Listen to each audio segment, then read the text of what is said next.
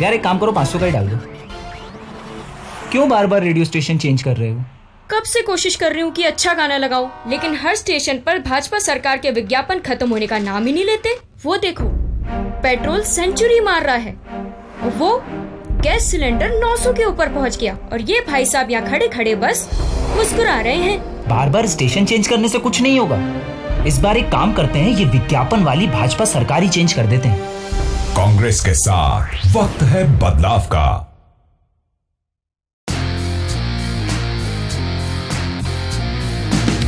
हिम्मत करो, आगे बढ़ो, अपने लिए अब तो लड़ो।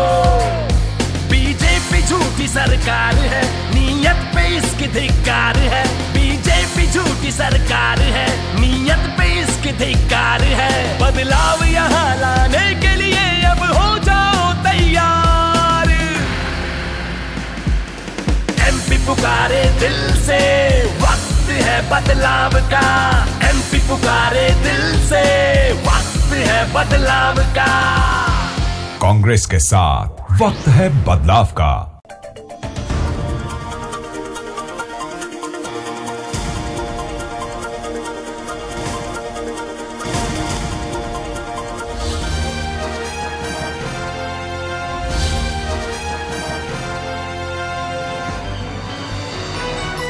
देख रहे हैं दखल न्यूज़।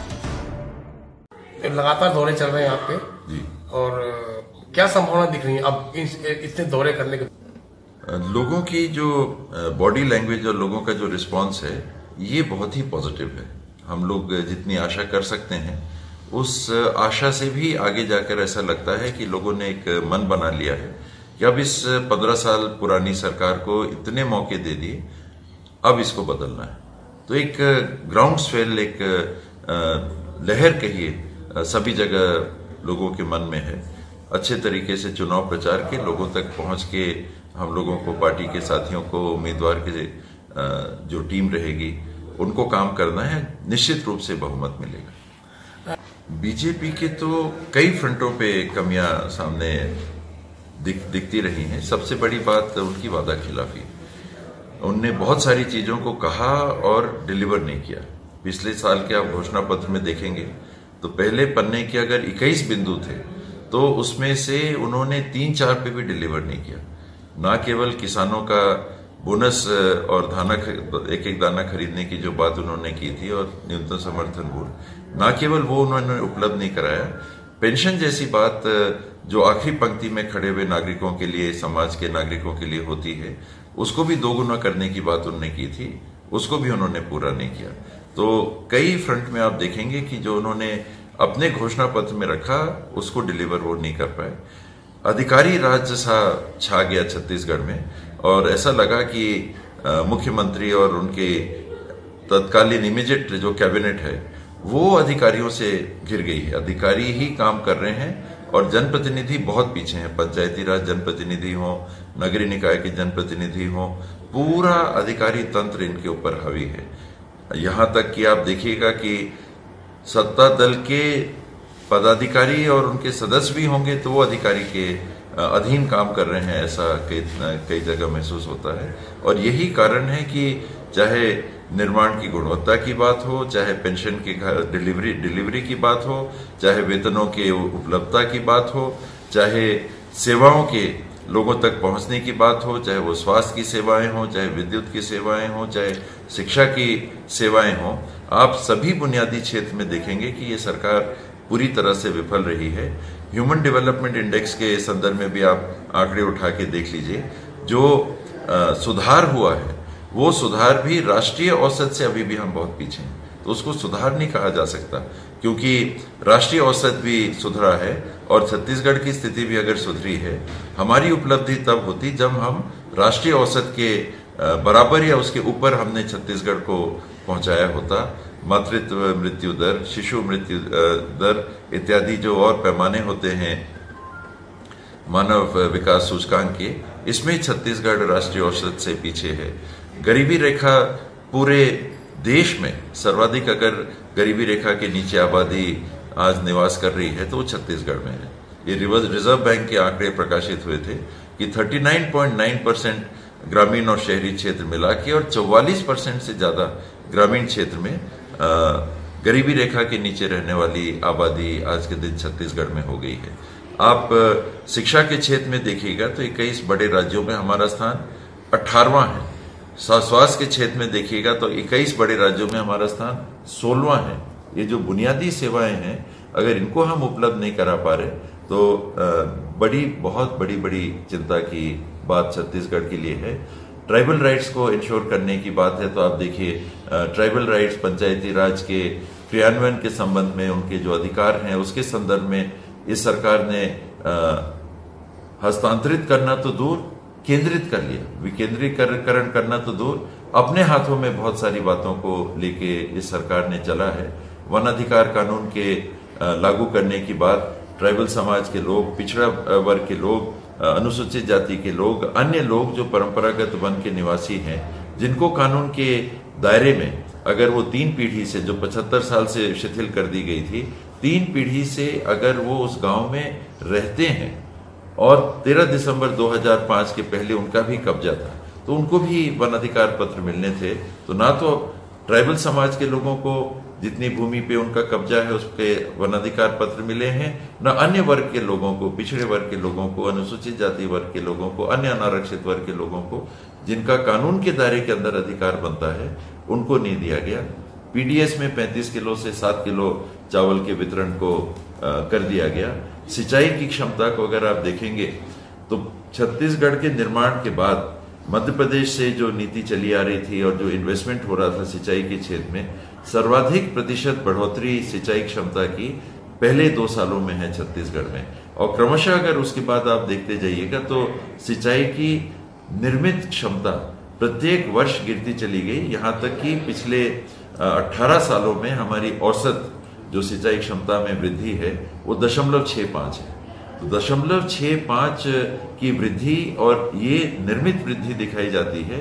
दूसरे तरफ़ जो हमारे निर्मित बाँध हैं, उनकी सिंचाई क्षमता कम होती चली गई है। रख रखाव के अभाव में कहीं जो छटकिन है, जो हमारा गेट है, कहीं हमारा गेट काम नहीं कर रहा, कहीं गेट हमारा लीक कर रहा, कहीं नहर टूट गई है, कहीं नहर के जो गेट्स हैं, जो पुलिये बना के पानी को आगे ले जाया जाता है, कहीं एक्वाडक्ट हैं, अनेकों जगह निर्मित क्षमता का भी उपयोग नहीं हो पा रहा है।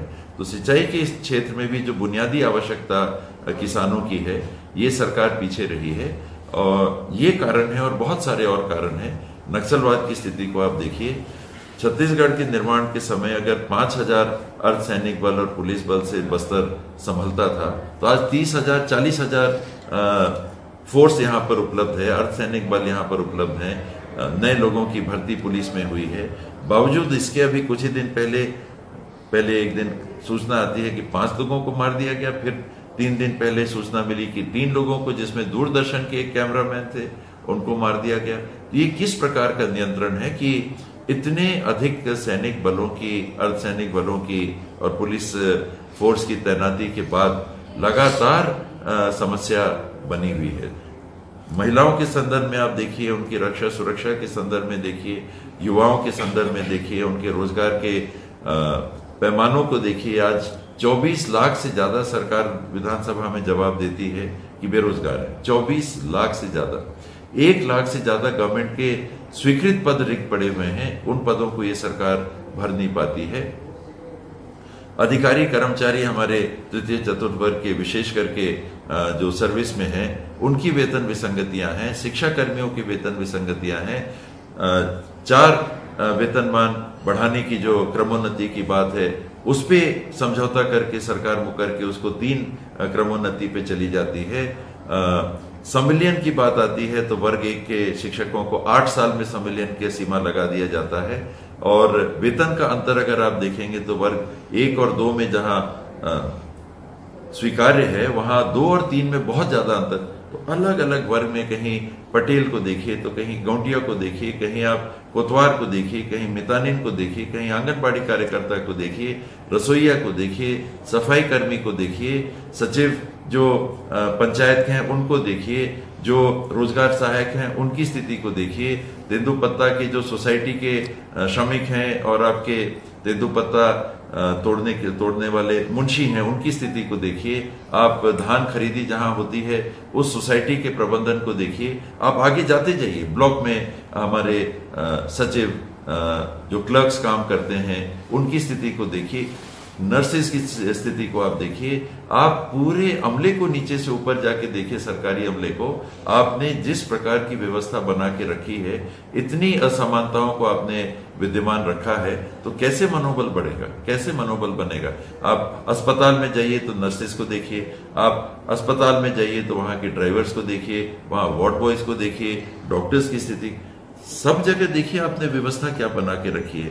गाँव में डॉक्टर्स की उपलब्धि, उपलब्धता और वहाँ उनके उपकरण की स्थिति को देखिए। तो ये पंद्रह साल में जो परिपक्व होके अनुभव प्राप्त करके जिस सरकार को डिलीवरी अपनी बढ़ानी थी, वो सरकार का काम गिरावट की तरफ़ चलता चला गया है, शिथिलता आती चली गई है। मान लो कि अब थक से गए हैं, पंद्रह साल हो गए। आगे काम करने की स्थितियाँ उनकी नहीं रह गई हैं। ये सारी बातें आम लोग महसूस कर रहे हैं और तब ये ग्राउंड स्वेल है। तब ये लहर सी बनी हुई है कि अब इनको तो हटाना है इनको तो हटाना है। मोदी फैक्टर तो पिछली बार भी काम नहीं किया था। लोकसभा में काम किया था ज़रूर काम किया था। आ, मुझे अपने चुनाव की बात अच्छे से याद है। हम लोग लोगों के साथ बैठे थे और उन्होंने स्पष्ट कहा था कि नहीं बाबा ये चुनाव में तो हम लोग साथ दे रहे हैं लेकिन अगले चुनाव में मत कहिए। तो और मोदी जी उनकी आखिरी सभा संजोग से उस उस बार अंबिकापुर में थी। और अंबिकापुर में लाल किला बना था, वगैरह वगैरह बना था। लेकिन प्रभाव आप देखिएगा तो मोदी जी की लास्ट सभा में सरगुजा लोकसभा के आठ में से सात सीट कांग्रेस को मिली। और अमूमन सेंटर के जो इश्यूज़ हैं, वो राज्य में, राज्य के चुनाव में प्राथमिकता में आगे नहीं रहते हैं। उनके लीडर्स का आकर्षण ज़रूर रहता है। राहुल जी आएँगे, उनका आकर्षण रहेगा। राहुल जी कुछ बात कहेंगे, उसका असर होगा। अब मोदी जी आके जिस बात को कहेंगे, अगर चौकीदार की ही स्थिति कॉम्प्रोमाइज हो गई, आप जिसके साथ मेहुल भाई कह के चाय पी रहे हो, उनको चाय को बुला रहे हो और दूसरे दिन वो भाग जा रहे हैं, आपके मंत्री के साथ वहाँ पर बैठे हुए हैं, दूसरे दिन वो पता चला विदेश निकल के चले गए। जब ये बातें सामने आ जाती हैं तो आपका जो प्रभाव है वो अपने आप घट जाता है। वो प्रभाव नहीं रहा मोदी जी का। सरकार के खिलाफ लहर है। ये सिक्के के दो पहलू होते हैं। कांग्रेस की नीतियों को भी प्रस्तुत किया जा रहा है और आप किसी भी सभा में जाके देखिए जब लोन वेवर की बात आती है तो कितनी तालियाँ बजती हैं। ये सरकार के पास पंद्रह साल का मौका था उनने क्यों नहीं किया? जिस दिन आचार संहिता लागू हुई उसी दिन उनने कैबिनेट की मीटिंग की। उसी दिन कैबिनेट मीटिंग के बाद आचार संहिता लागू हुई, इनको खबर लग जाती है। और उनके पास मौका था, क्यों नहीं उन्होंने किया? आप अगर कहते हैं कि हम धान खरीदी का भाव बढ़ाएँगे, आपने कहा और नहीं किया, और कांग्रेस अपने तरफ़ से कहती है कि हम धान की खरीदी का भाव कम से कम इतना आपको देंगे, कम से कम पच्चीस सौ, आप लोगों का रिस्पॉन्स देखिए कैसा आता है। रोज़गार के लिए इनके पास मौके थे, हम बेरोजगारी भत्ता देंगे, आपने क्यों नहीं दिया पंद्रह साल में? आपने दिया और उसको विड्रॉ कर लिया। देने की बात कही और फिर नहीं दिया। और कांग्रेस की तरफ़ से जब ये कहा जाता है कि 10 लाख युवाओं को, युवतियों को हम कम से कम दो हज़ार रुपया एक राशि स्टाइपेंड हम उपलब्ध कराएँगे और आपसे हम कुछ काम भी लेंगे। ये नहीं कि घर बैठने के लिए हम अपने आने वाली पीढ़ी को सुस्त कर दे रहे हैं, शिथिल बना देंगे, उनकी मानसिकता को बिगाड़ देंगे। नहीं तो ऐसे ही ले लो, चलो ऐसे ही ले लो। तो उनको काम देखिए ये सब क्यों नहीं किया जा सकता? इनके माध्यम से गाँव में, घर में आप पेंशन क्यों नहीं डिलीवर करा सकते?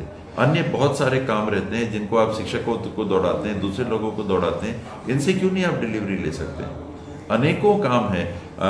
लोग शिकायत करते हैं कि हमारे सर्टिफिकेट्स नहीं बनते कास्ट सर्टिफिकेट बार बार चक्कर लगाना पड़ता बार बार चक्कर। आप होम डिलीवरी सर्टिफिकेट्स की क्यों नहीं करा सकते? आपके पास मैन पावर है, उनको एंगेज करिए, आप जिनको रोज़गार दे सकते हैं, उनको रोज़गार दीजिए। प्राइवेट सेक्टर में इंश्योर करिए कि छत्तीसगढ़ के लोगों को ही मिले। ज़ीरो आउटसोर्सिंग करिए। फिर निज, आ, निजी काम करने के लिए उनके लिए धनराशि उपलब्ध करें। इतने सारे विकल्प हैं। इसमें काम नहीं होने के कारण जब आप इस बात को करते हैं तो कांग्रेस पार्टी को भी रिस्पांस मिलता है। आप पंचायती राज और नगरीय निकाय के चुने हुए प्रतिनिधियों की अवमानना की जब आप बात करते हैं और कांग्रेस पार्टी उस बात को सुनिश्चित करने की ज़िम्मेदारी लेती है तो कांग्रेस पार्टी को भी खुलेआम रिस्पांस मिलता है। जनप्रतिनिधि जानते हैं कि किस दबाव में उनसे काम लिया जा रहा है, कितनी उनकी अवमानना होती है, कितनी उनकी बेजती की जाती है, किस प्रकार का शासकीय तंत्र ने ऊपर से जकड़ दिया है पूरी व्यवस्था को। और उनको कितनी घुटन हो रही है? तो आप जब ये कांग्रेस पार्टी ये बात करती है तो कांग्रेस पार्टी को भी रिस्पांस मिलता है। शिक्षा की गुणवत्ता की सुधार करने की जब आप बात करते हैं तो ये नहीं कि रमन सिंह की सरकार ने हमको 21 राज्यों में अठारहवें अठारहवें पैदा पैदान पे बैठा दिया, इसीलिए उनको हटाना, इसलिए तो उनको हटाना ही है और हटाना ही चाहिए। लेकिन कांग्रेस पार्टी जब आके नई व्यवस्था की बात करती है कि प्राइवेट स्कूलों में बेहतर पढ़ाई क्यों दिखती है, आप नर्सरी के जी वन के जी टू से बच्चों को भेज के पढ़ाते हो। हमारे सरकारी स्कूल में क्लास वन से पढ़ाई चालू होती है।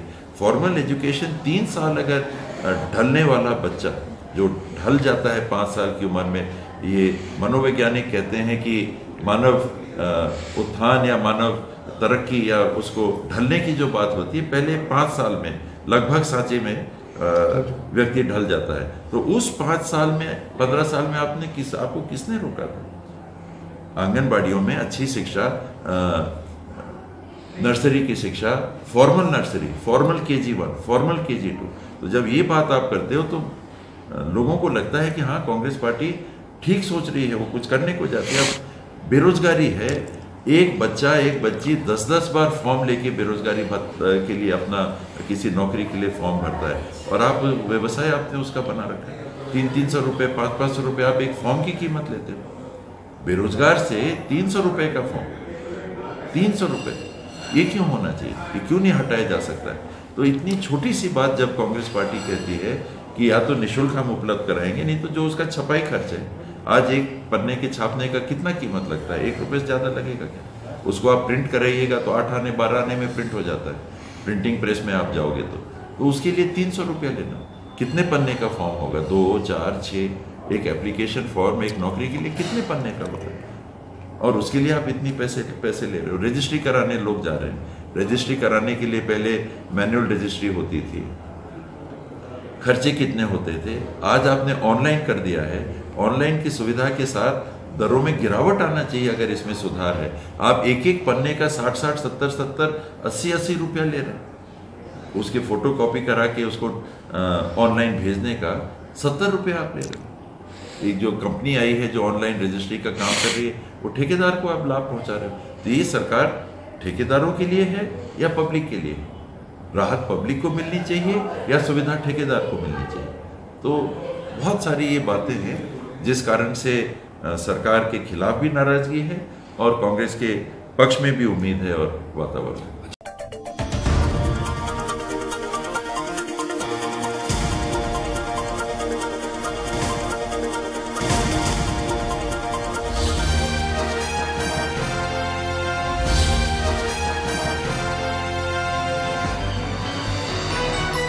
देख रहे हैं दखल न्यूज़। यार एक काम करो पाँच सौ का ही डाल दो। क्यों बार बार रेडियो स्टेशन चेंज कर रहे हो? कब से कोशिश कर रही हूँ कि अच्छा गाना लगाओ लेकिन हर स्टेशन पर भाजपा सरकार के विज्ञापन खत्म होने का नाम ही नहीं लेते? वो देखो पेट्रोल सेंचुरी मार रहा है। वो गैस सिलेंडर 900 के ऊपर पहुँच गया और ये भाई साहब यहाँ खड़े खड़े बस मुस्कुरा रहे हैं। बार बार स्टेशन चेंज करने से कुछ नहीं होगा। इस बार एक काम करते हैं, ये विज्ञापन वाली भाजपा सरकारी चेंज कर देते हैं। कांग्रेस के साथ वक्त है बदलाव का।